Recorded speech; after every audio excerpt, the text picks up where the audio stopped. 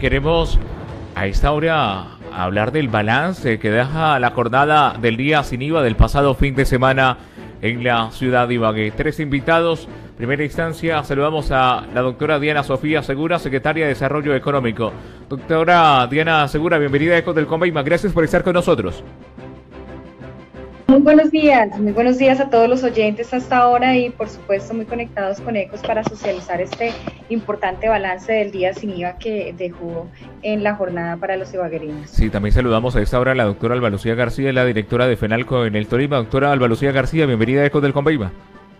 Julio, muy buenos días para usted y para todos los oyentes de Ecos del Conveima. También saludamos al doctor Efraín Valencia, representante de en este caso también de FENALCO, pero es el gerente del Centro Comercial de Estación. Doctor Valencia, bienvenido a Ecos del. Julio, un cordial saludo para usted, para la mesa de trabajo, los oyentes y por supuesto para la doctora Sofía y la doctora Alba Lucía, un saludo muy especial para todos. Eh, Secretaria de Desarrollo Económico, Diana Sofía Segura, hablemos de ese balance que deja esa acordada del día sin IVA. Bueno, sin duda muy positivo. Debo resaltar pues todo el acompañamiento que se hizo desde la institucionalidad. Hablo puntualmente de eh, la gobernación del Tolima, la alcaldía de Ibagué en cabeza de nuestro alcalde. Tuvimos más de 250 eh, pues realmente funcionarios del sector público eh, acompañando esta jornada, reconocer pues todo el apoyo que recibimos de la policía y pues ya lo entrarán a anunciar nuestros empresarios. Un saludo muy especial al doctor Efraín y a la doctora Alba. Eh, hemos hecho una, realmente unos sondeos que nos permitan también entendiendo mucho más el comportamiento de nuestros comerciantes, de nuestros consumidores. Sin duda vemos que en materia de orden público el balance fue muy positivo, en ventas también, y pues ahí vamos trabajando mucho la cultura que tiene que ver con esta bioseguridad en nuestra ciudad. Vemos que sin mayor dificultad la mayor parte de nuestros compradores no tuvieron ninguna dificultad para adquirir los productos y pues se vincularon a, esta jornada con unas ventas pues que superaron las expectativas en varios de los sectores. Sí, doctora eh, Diana Segura, eh, salieron los ibagreños a comprar, eh, hubo un respaldo a los empresarios de parte de los ciudadanos, una muy buena movilidad. Sí, sin duda, sin duda vemos que hay una muy buena acogida, se comienza a ver una dinámica de recuperación económica en la ciudad muy importante. Eh, ya hacíamos unos análisis previos de la mano de, FENALCO, de Cámara de Comercio, de nuestros empresarios, eh, tratando de anticiparnos a cuáles iban a ser esas categorías que iban a tomar fuerza y vemos pues que sin duda, por ejemplo, el tema de prendas de vestir comenzó a repuntar dentro de las ventas que tuvieron, pero sin duda vemos una eh, comunidad de unos ibagreños respondiendo muy bien a esta eh, iniciativa del gobierno nacional que nos ayuda muchísimo a dinamizar la economía que venía tan golpeada. Sí, doctora Alba Lucía García, directora de FENALCO, eh, precisamente el comercio se dinamizó en esta jornada del día sin IVA. Sí, yo creo que fue muy positivo y al terminar la jornada, de hecho, muchos señalaban que es claramente la mejor jornada comercial que hemos tenido en lo que va corrido de 2020 el comercio el sábado tuvo una fecha que realmente le permitió tener algo de esa recuperación y fue oficialmente el lanzamiento de lo que se espera sea esta temporada de cierre de año. Respaldar, por supuesto, todo el trabajo articulado que se dio entre la administración, la policía, la ciudadanía y, por supuesto, nuestros comerciantes. Sí, eh, doctor eh, Efraín Valencia, en el caso del centro comercial de estación en general, porque lo vimos a usted, eh, no solo en el centro comercial al el cual representa, sino en diferentes sectores de la ciudad, desde su óptica como empresario, como un hombre del sector del el comercio, ¿cuál es su concepto de lo que fue esta jornada? Julio, bastante positiva. Realmente nosotros estamos muy complacidos y yo creo que aquí se conjugaron muchas cosas. Eh, primero, obviamente, ese trabajo articulado, como lo están resaltando la, doctora Diana Sofía y la doctora Alba eh, con las autoridades, precisamente para poder generar ese estímulo. Nosotros en el comercio, lo que no vendemos un día ya no lo vamos a vender. Pero ¿qué fue positivo de esta jornada? Que ya estamos alcanzando unos niveles importantes, sobre todo en el marco de esta temporada de fin de año. Para poder contextualizar un poquito a los oyentes, les decimos, es como si hubiéramos tenido un día digamos, similar al 23 de diciembre del año anterior, del 2019, que fue una fecha comercialmente importante a nivel de las ventas. Tuvimos un un 41% por encima de la jornada anterior y un 64% de la primera jornada. Como bien lo citaba la doctora Alba Lucía, es la mejor jornada comercial que hemos tenido y es un abrebocas para lo que es el fin de año. Y que es clave resaltar acá, que como estamos arrancando con anticipación, vamos a tener una temporada de diciembre mucho más distribuida, una temporada donde no, vamos a evitar las aglomeraciones, donde vamos a ser muy rigurosos con los protocolos, porque obviamente desde el comercio nos interesa desarrollar nuestra actividad, pero importante resaltar que ese desarrollo de la actividad sea bioseguro de la mano de las autoridades, porque necesitamos salir adelante en este momento y no tener una buena temporada para después tener cierres. Sí, doctora Diana Segura, usted manifiesta que pues hay unas encuestas que se realizaron, unos sondeos. Eh, ¿Qué podemos decirle a nuestros oyentes frente a el comportamiento de las compras? En este caso, ¿cuáles fueron los productos que lideraron eh, la jornada? Bueno, pues este sondeo se hizo en dos ejes o frentes de trabajo. Uno, por supuesto, haciendo la consulta a nuestros, a nuestros eh, consumidores o compradores, un poco de la percepción de la jornada. Eh, y el otro frente de trabajo fue, por supuesto, al comerciante. en respecto, me voy a referir a los consumidores eh, y los comerciantes, seguramente, pues esto lo hicimos de manera conjunta Sí, estamos en contacto. Para que sean ellos, por supuesto, los que puedan socializar esta información. Sí, creo que perdimos la cámara de la doctora Diana Segura y nos va a comentar eh, algunas eh, de las eh, cifras que deja esta jornada del día sin ir. Así es, el sondeo se dio. Ah, ahí regresó.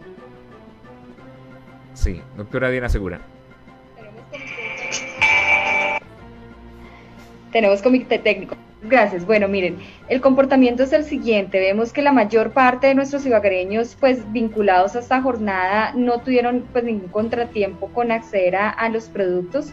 Los productos más comprados, según los eh, eh, compradores encuestados, fue primero.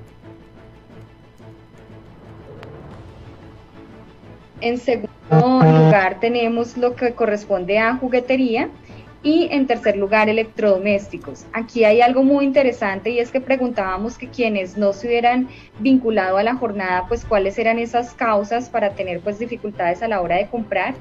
Algunos de ellos pues manifestaban las largas filas derivado pues a esos protocolos, había que pues demorar un poco el ingreso a algunos establecimientos de, pues, por supuesto por lavado de manos y registro, temperatura y demás que demoraba un poco pues el flujo. Em, el poco uso de las tarjetas débito y crédito también pues fue cierta, eh, generó cierta restricción para algunos en, acceder a estos beneficios. Además pues eh, el no saber comprar por internet ha sido otras de las razones por las que ellos tuvieron algunas dificultades por vincularse. Pero en términos generales vemos que la mayor eh, parte de los ibagreños se, se, vincularon a esta jornada sin, sin ninguna... dificultad. Estos ítems pues son para nosotros unos eh, bases para poder ir generando algunas estrategias en próximas jornadas comerciales, porque sin duda entendemos la importancia de ir generando esta dinámica. Y pues en los lugares de compra, obviamente sabemos también que esto está muy asociado a los puntos donde nosotros hicimos presencia, e hicimos las encuestas, pero sin embargo pues veíamos una gran presencia de afluencia en lo que tenía que ver primero en centros comerciales, luego en compras en grandes superficies, eh, seguidamente entonces con el 19% de locales comerciales y pues un 11% en plataformas. Vemos eh, que viene creciendo de manera importante esta tendencia. Ya a nivel de comercio, pues me gustaría mucho que FENALCO se refiriera también a, ese resultado de lo que nosotros encontramos en este sondeo. Sí, doctora Alba Lucía García. Julio, pues yo creo que las dos primeras jornadas, las que ya tuvimos eh, durante los meses anteriores, nos dejaron muchos retos y muchas enseñanzas. Y en esa tercera jornada pudimos aplicar todos esos conocimientos y esa experiencia que logramos adquirir a través de las jornadas previas. En la primera jornada todos vieron como los electrodomésticos fueron la categoría estrella. En la primera jornada todos querían comprar electrodomésticos y eso fue lo que generó algunas aglomeraciones. Lo mismo ocurrió en la segunda, pero en esta tercera y última jornada la categoría que brilló fue la de vestuario y complementos de vestuario las personas aprovecharon para ir a comprar la ropa, los zapatos, todo lo que tenían pendiente para este cierre de año. También la juguetería presentó un muy buen repunte y eso fue muy positivo para muchos locales. Y mire que algunos comercios pequeños, recordemos que la prohibición de compra de electrodomésticos, de equipos de telecomunicaciones y comunicaciones solamente estaba para las grandes superficies. En los pequeños que están ubicados en el centro de la ciudad, varios reportaron un buen manejo, digamos, un buen aumento en sus ventas. En términos de cifras también es importante resaltar cómo crece ese, esa compra en plataforma lo que muestra, como lo decía la doctora Sofía, que hemos venido trabajando tanto para que los comercios tengan hoy las plataformas, tengan datáfonos, tengan los canales y tengan una sensibilización en pagos digitales, como también para que el comprador pueda hacer este tipo de compras. Y eso se ve evidenciado en ese aumento a través de las compras virtuales. Y un último dato que yo creo que es importante resaltar, que lo veremos eh, en esta semana cuando ya la DIAN y los diferentes aliados que manejan, eh, digamos, nos apoyan con temas tecnológicos a nivel país, nos cuente las cifras eh, que se generaron en este sábado, es cómo claramente la ciudadanía salió a respaldar al comercio formal de manera ordenada, con un muy buen comportamiento y yo creo que esto es muy positivo porque muestra cómo nuestros ciudadanos, cómo podemos ser un ejemplo a nivel país si ustedes veían los reportes, en muy pocas ciudades se generaron algún tipo de inconveniente y en Ibagué fue una de las cuales no se presentó ningún inconveniente, sino que por el contrario, lo normal, como lo decía la doctora Sofía, algunas filas propias de los requisitos para poder seguir los protocolos de bioseguridad, pero en general los ciudadanos salieron a respaldar el comercio y no nos cabe nada diferente a gratitud y agradecer por este eh, esta fecha tan importante. Eh, sí, doctor Efraín Valencia, ya nos enrutamos a lo que tiene que ver con esta temporada de Sembrina. El día sin IVA fue la apertura para esta finalización del 2020. Sí, señor, indudablemente. Recordemos que esto, esto genera un efecto rebote. Ayer, por ejemplo, veíamos un flujo muy importante también en la, en la actividad comercial, en los espacios comerciales. ¿Sí? genera una atracción alrededor de los, de los visitantes. Ya la gente coge confianza con la bioseguridad, la gente entiende que hay que cumplir unos protocolos, que hay una temporada. Y recordemos que este, este desarrollo, este tercer día sin IVA, está enmarcado dentro de esa estrategia que se está desarrollando por el gobierno nacional y que ha sido adoptada por la administración municipal en cuanto a madrugarle a la Navidad, salirle adelante a esta importante fecha. Ya este tercer día sin IVA nos mostró una tendencia importante que se potencializó con el adelanto de la, de la prima del sector público, de un gran porcentaje de empresas privadas que estamos haciendo el esfuerzo para que esto eh, esté ese dinero en la economía y así se pueda reactivar. Esta semana tenemos también cuatro días de, lo que se han denominado Black Days, jueves, viernes, sábado, domingo. Seguimos con, con, esta importante actividad comercial en los diferentes espacios de la ciudad. Las marcas están precisamente con esa intención de atraer a los clientes, de generarles beneficios con los descuentos. Entonces, este es un, un un tercer elemento. El primero, el adelanto de la prima, el segundo, el tercer día sin IVA y ese tercer elemento de los que está trabajando el gobierno nacional tiene que ver precisamente con esos Black Days. Después ya nos adentramos en la temporada fuerte en lo que es el mes de diciembre, obviamente, donde también tenemos que ser muy rigurosos con, con todo el cumplimiento de los protocolos. Y yo pienso que si seguimos trabajando así articuladamente con las autoridades, eh, fíjese que la percepción en esas encuestas que citan la, la doctora Sofía y la doctora Alba Lucía, eh, los clientes hablaban en un 90% que estaban satisfechos con el cumplimiento de los protocolos de bioseguridad. Eso es un indicador muy importante. Ese sumado al acompañamiento de las autoridades y esa motivación que hay con los, con los comerciantes, obviamente yo creo que es algo que nos va a ayudar muchísimo y recordar que el mes de diciembre, esta temporada de fin de año, es una temporada muy importante para la generación del empleo, especialmente de los jóvenes. Al activar el comercio, se activa la hotelería, se activan los bares, se activan los restaurantes, se activan muchos de los sectores de la economía que emplean a los jóvenes, por eso el llamado también es a que eh, aunque sean hechos aislados, aunque sean situaciones puntuales, a que dejemos eso de un lado y nos concentremos realmente en el proceso de reactivación, en esta fiesta que se vive del comercio y obviamente en ser rigurosos con el cumplimiento de los protocolos. Sí, eh, doctora Diana Segura, secretaria de Desarrollo Económico, gracias por estar aquí en Ecos del Convenio y lo mismo que le decía el doctor Efraín Valencia, hablemos de ese acompañamiento que viene para el fin de año a los comerciantes.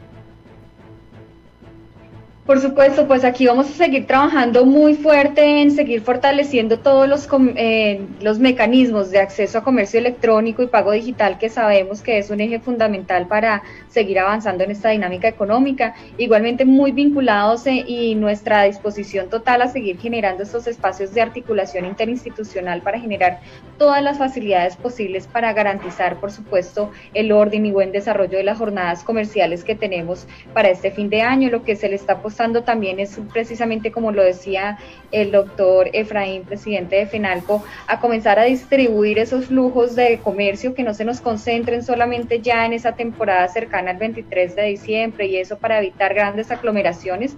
Estas jornadas de descuento nos permiten apostarle a que se vayan haciendo las compras de manera pues desagregada, eh, gradual eh, para evitar precisamente pues esas aglomeraciones. Cuentan y reiterarles toda la disposición que tenemos desde nuestro alcalde, el doctor Andrés Fabián Hurtado y toda la administración municipal para seguir acompañando cada una de estas jornadas. Doctora Diana Segura, gracias por estar aquí en Ecos del Conveima. Muchas gracias a ustedes, Julio, por el espacio. También eh, gracias a la directora de FENAL con el Tolima eh, por estar con nosotros y acompañarnos en esta mañana, doctora Alba Lucía García. Julio, muchísimas gracias y complementar que dentro de todas esas estrategias que tenemos de fin de año, hoy arranca una campaña muy importante que es Madruguen en la Navidad, remodele su casa, que invita a que todos los ciudadanos que tienen esas remodelaciones pendientes en sus casas, que se dieron cuenta durante todo este espacio que es el momento de darle también regalos al hogar, le compren a nuestras ferreterías, a las ferreterías locales que tienen precios y combos especiales para que se hagan estas reparaciones agradecer nuevamente a la ciudadanía por el respaldo dado al comercio formal y recordarle a todos los comerciantes que desde FENALCO estamos trabajando arduamente para seguir generando espacios que les permitan la recuperación económica efectiva en lo que resta del año. Igualmente, doctor Efraín Valencia, gracias por estar aquí en Ecos del Conveima. Muchas gracias, Julio. Un saludo muy especial a usted, todo el equipo, a la doctora Diana Sofía, a la doctora Alba Lucía, y recordarle a todas las personas que inició nuestra temporada de fin de año en el comercio, este espacio tan importante para todos, las recomendaciones de bioseguridad, que se sigan cuidando, lavado de manos, el tapabocas y todo, y seguramente así vamos a poder disfrutar de esta importante temporada sin tener problemas más adelante en las condiciones de salud de los ibaguereños. Gracias por estar con nosotros a esta hora en Econoticias de Ecos del Convenio.